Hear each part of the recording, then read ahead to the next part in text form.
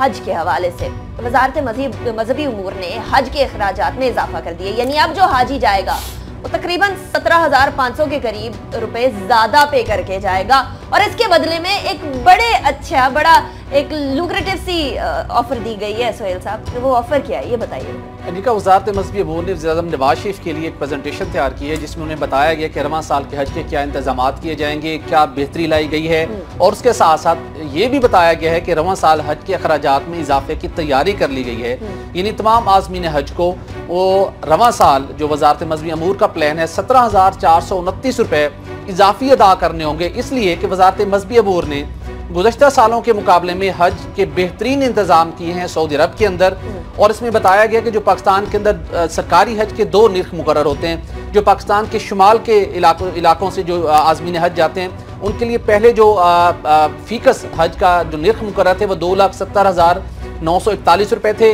अब जो नया उसमें इजाफा किया जा रहा है उसके बाद ये अखराज हो जाएँगे दो लाख अट्ठासी हज़ार तीन सौ सत्तर रुपए हम्म। ये सरकारी हज है और जनूब के इलाकों से जो आजमीन हज के लिए जो निर्ख मुकर थे वो दो लाख इकसठ हज़ार नौ सौ इकतालीस रुपए पहले मुकर थे हम्म। अब ये सत्रह हज़ार चार सौ इक्कीस रुपए उनतीस रुपए के इजाफे के बाद दो लाख उनासी हज़ार तीन सौ सत्तर रुपए हो जाएँगे उन्होंने बताया यह है कि सऊदी हुकूमत के साथ रवा साल के हज के से हम्म। मुतलिक मुआदा हो चुका है और रवा साल जो आजमीन हज हैं वो गुजशत साल एक लाख तैंतालीस हज़ार तीन सौ अड़सठ के मुकाबले में एक लाख उनासी हज़ार दो सौ दस आजमीन हज जाएँगे लेकिन आठ नई सहूलियात मुतारफ करवाई जाएँगी रवा साल के हज में जिसमें यह कहा गया है कि एक्सप्रेस एक स्पेशल बस चलेगी जो कि हजाज कराम के लिए जिद्दा से मदीना के दरमियान। पहले नहीं थी बहुत ज़बरदस्त किस्म की बस होगी इसको हमने ऐड करना है इसके इजाफी अखराज बर्दाश्त करना पड़ेंगे इसके साथ साथ अप मॉडल की बसें इस्तेमाल की जाएँगी। एयरपोर्ट से आजमीन जो हजाज कराम है उनकी रिहाइश गाहों तक। बसों का बेहतरीन इंतज़ाम होगा। और इसके साथ ये बताया गया कि फिल्टर्ड पानी वहाँ फराहम किया जाएगा। और उसके साथ मीना के अंदर बहुत ज़्यादा गर्मी होती है। तो हजाज कराम को गर्मी से बचाने के लिए हर मकतब के अंदर एक कूलिंग सिस्टम का इंतज़ाम किया जाएगा। इसके साथ ये भी बताया गया कि फायर प्रूफ टेंट्स का अहतमाम भी इस मरतबा किया जाएगा जिसकी वजह से हमें ज़्यादा अखराज का सामना करना पड़ेगा। और तीनों वक्त का जो खाना है वो फ्रेश होगा म्यारी म्यारी खाना होगा जिसके ऊपर इजाफी अखराज हमें उठाना पड़ेंगे यही वजह है कि ये सत्रह हज़ार चार सौ उनतीस रुपए का इसमें अच्छा, और इसके साथ इसके साथ ये भी कहा गया है कि अगर ये अखराज जब हज आजमी हज वापस लौट जाएँगे हम्म। और अगर वजारत मजहबी अबूर ने यह देखा कि ये अब अखराज कम हुए हैं हम्म। जितना उन्होंने इजाफा किया था उतने खर्च नहीं हुए तो ये यकीन दहानी करवाई जाएगी हजाज कराम को कि जितने पैसे बच गए हर हाजी को उतनी रकम अच्छा, वापस कर दी जाएगी। इसी तरफ़ आना चाह रही थी। साहब की तरफ़ जाने से पहले ये पैसे वापस करने वाला काम जरा पाकिस्तान में कम ही हुआ करता है कि जी अखराज अगर कम हो गए तो फिर पैसे वापस दे दिए जाएँगे। आपको लगता है ऐसा होगा या नहीं होगा यही कहने वाला था कि हमारी हुकूमत से पैसा लेना जो है वो जान जोखों का काम है। आप देखिए टैक्स का रिफंड किस तरह मिलता है या और जो बाकी पैसे हैं वो किस तरह मिलते हैं।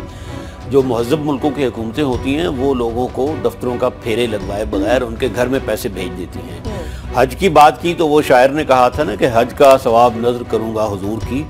तो हज का सवाब हाजी लेते हैं, लेकिन जो उनके साथ गुजरती है, वो वही जानते हैं। ये भी वही शोबा है जिसमें हमारी नाहली और हमारी जो इनकम्पिटेंस है, वो कई सालों से खबरों में आ रही है। हाजी मुतमिन नहीं है। मुझे ये याद आ रहा है कि कल परसों जो मशहूर हज स्कैंडल था पीपल्स पार्टी के ज़माने का अहमद सईद काजमी साहब का जिसमें उनके डीजी हज भी मुलवस थे कोई आफ्ताब साहब एक और साहब भी मुलवस थे उनको एक अपर कोर्ट ने छोड़ दिया है। अगर उनको छोड़ दिया गया है तो ये मालूम नहीं हुआ कि फिर वो करप्शन किसने की थी। चलिए।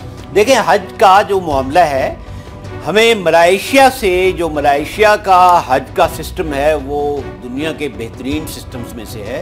मुझे याद है जस्टिस तकी उस्मानी साहब ने एक दफ़ा अखबार में मजमून लिख कर हुकूमत को ये तजवीज़ पेश की थी कि आप मलाइशिया का हज का सिस्टम जो है उसको स्टडी करें और उसको फॉलो करें। It is one of the most organize systems in the world और वो लोगों से शुरू शुरू में किस्तें लेते हैं और फिर उसी को इन्फ्लेट करके उनका खर्च पूरा कर दें और वहाँ भी आप देखें कि जो मशरक बीत के इंडोनेशिया और मलाइशिया के हाजी हैं वो सबसे ज़्यादा ऑर्गेनाइज होते हैं सही, ठीक है, और ग्रुप्स के अंदर जाते हैं, लेकिन इतना ज़रूर है कि अगर ये पैसा जो ज़्यादा किया गया है, बढ़ाया गया है, अगर इसको सही जगह पर इस्तेमाल किया जाए और हजाज को प्रॉपर फैसिलिटीज़ दी जाए, जिनसे वो अक्सर औकात महरूम होते हैं, वहाँ बहुत मुश्किल का सामना होता है उनको हज के दौरान, अक्सर औकात पाकिस्तानी हजाज को देखा जाता है। अगर ये फैसिलिटीज़ वाकई में दी जाए, तब तो ठीक, अगर ये रिफंड मिल जाए, तब तो ठीक, लेकिन ये जरा काम मुश्किल नज़र आता है, हुकूमत को इसकी तरफ़ ज़्यादा ध्यान देना होगा। ब्रेक की तरफ़ जाना है। हमारे यहाँ जायजा लेने का बंदोबस्त नहीं है जो ये फैसिलिटीज़ उन्होंने अनाउंस की हैं इन्हें चाहिए कि जब हाजी हज करके आए तो उनसे इंटरव्यू लिया जाए मीडिया इंटरव्यू ले या कोई गैर जानबदार अथॉरिटी तो उसके बाद फिर पता चलेगा जायजा असेसमेंट के वहाँ वाकई इंतज़ाम सही हैं या वो इंतज़ाम जब होंगे जब बढ़ेगा उसके बाद फिर डेफिनेटली इसके ऊपर बात भी होगी लेकिन अभी जा